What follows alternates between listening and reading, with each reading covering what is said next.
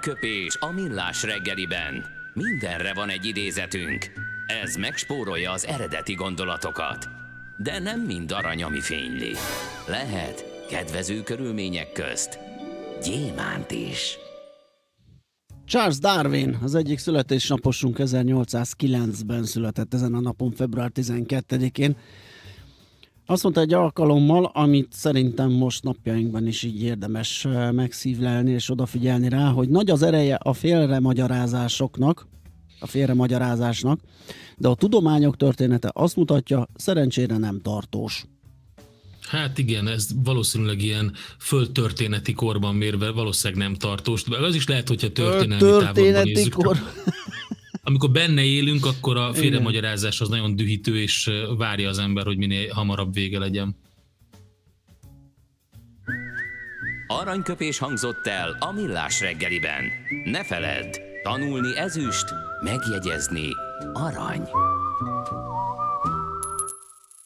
A mozgás jó, a mozgás egészséges, a mozgás motivál, serkenti a gondolkodást és fiatalít. Aki mozog, az boldog ember és kevésbé stresszes.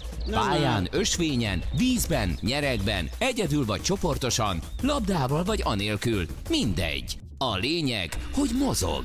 Épp testben. Igen. Ez lesz majd Pontosan. A mostani ez... beszélgetés után egy ajánlót hallottunk. Abszolút, és ezt csak azért, azért mondtuk el, hogy mindenki tudja, hogy hát épp testben épp lélek, meg ilyenek, úgyhogy most jön az, aminek jönnie kell. Az egészhez két fél kell. Az egészséghez klíma és egészségtudat. Az vagy, amit eszel, ha nem műanyag akarsz lenni, tenned kell érte. Egészséges táplálkozás, fenntarthatóság, környezetkímélő technológiák. Szeretsz nagy lábon élni? Kis lábnyommal menni fog. Lábnyom, a millás reggeli klíma és egészségtudatos ökorovata. Neked mekkora van? Hát csak összehozzuk valahogy, hogy beszélgessünk Strasser Kátai Bernadetta, a Real Nature Kft. ügyvezetőjével. Szia, jó reggelt!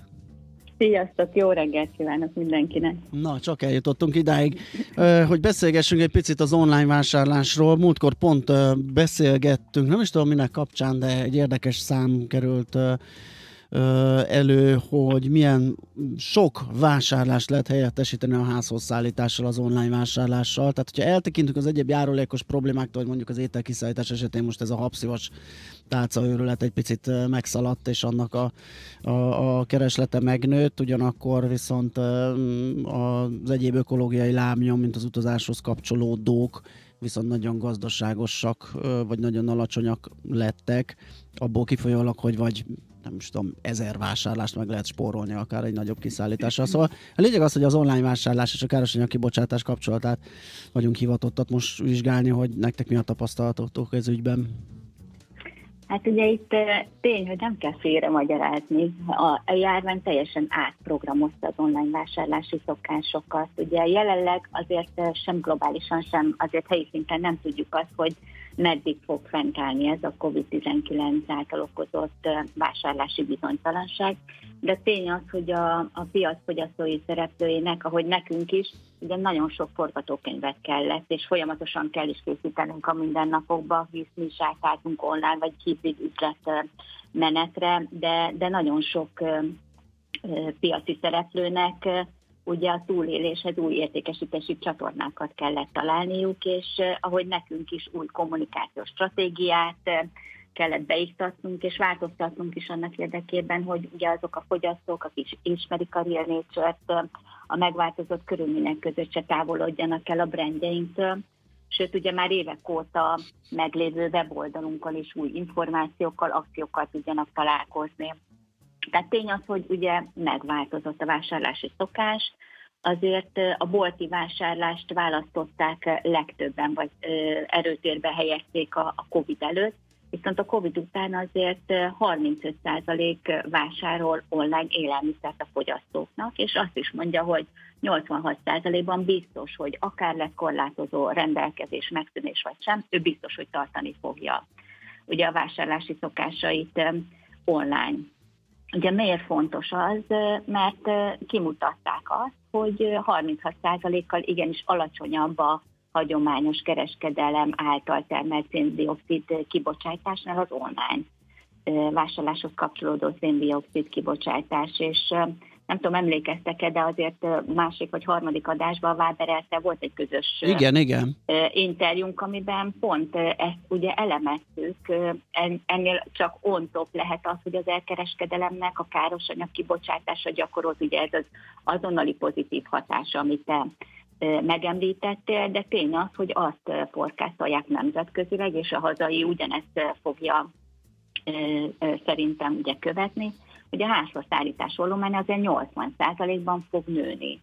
Főleg, hogyha tudjuk ezeket a számokat, hogy online vásárlását meg is fogja tartani hasonlóképpen, akár élelmiszer, hát tudjuk, hogy a, az egyik kategóriában még erősebb Uh-huh. De a folyamatos innováció például akár hatékonyabb tervezés, erről volt ugye szó, csomagolás technika fejlesztése, ugye okos épületek, vagy akár az elektromos járműre való átváltás, illetve ami majd jön, erről még ugye csak éppen érintőlegesen van, aki beszélt itt az adásotokban, van, aki nem, de a mesterséges intelligencia alkalmazásával ugye ezek az elkereskedelmi tevékenységeknek a fenntarthatósága azért erősödni fog, és hát a kibocsátást is ezért ugye pozitív irányba tudja eredményezni. Világos, ugye itt az online vásárlásról most mint disztribúciós csatornáról beszélgetünk, de például a ti termékkörötökben, ugye ti vegán termékeket fogalmaztok, például egy vegán italvásárlás, vagy egy egyéb esetében mennyire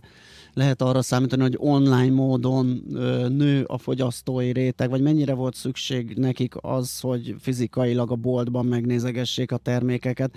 Ez nyilván az információ áramlással függ össze, hogy mennyi információt kap itt vagy ott a vevő.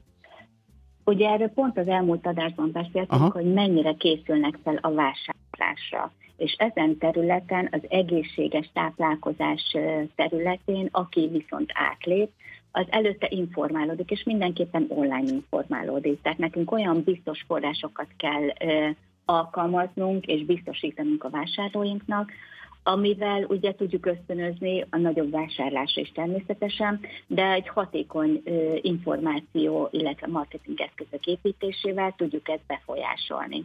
Ugye látjuk azt, hogy akár egy drogériában mennyire megnőttek ezen termékek iránti igények online vásárlásnál is vagy még meglepőbb, hogy igen, az idősek is sokkal jobban odafigyelnek, tehát még egy 60 pluszos is elkezdett jobban utána érdeklődni, a weboldalunkon kérdéseket tett Ugye ezt nagyon, nagyon aktuálisan és pontosan folyamatosan kezelnünk kell, illetve válaszolni rá.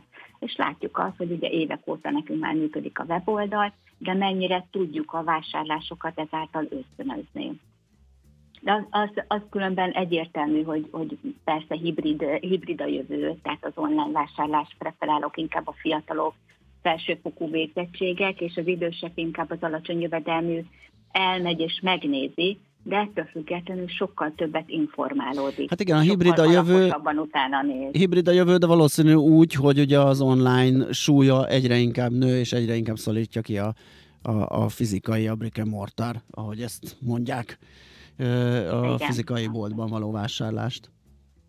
Igen, hát ugye nekünk arra kell nagyon összpontosítani, és minden hasonló gyártónak, illetve forgalmazónak, hogy folyamatosan kell fejlesztenie a mobil applikációkkal, akár hangvezérelt megoldásokkal, adatbiztonság, mert ez rendkívül fontos, és hát ezek a testre szabott marketing megoldásokkal, amelyet ugye tudunk nyújtani a fogyasztónknak. Zömében ugye ebben a kategóriában. Uh-huh. Szerintem a különbség a fogyasztók között ott van, de javíts ki, hogyha tévedek, hogy a fiatalabb korosztály saját döntésből, saját elhatározásból választja azokat a módszereket, amiknek mondjuk kisebb lesz a lábnyoma. A, az idősebb korosztályt pedig, akik inkább jobban hozzászoktak a, a klasszikus vásárláshoz, pedig rá kell venni valamivel, motiválni kell őket, hogy ezt válasszák. Igen, hát a motiváció az a megmagyarázásban, megmagyarázásban rejlik, tehát őket meg kell tanítani. A fiatalok mondhatni azt, hogy belenőttek, nem csak hogy trendi, hanem akarnak valamit tenni a bolygóért, erről is beszéltünk már több adásban.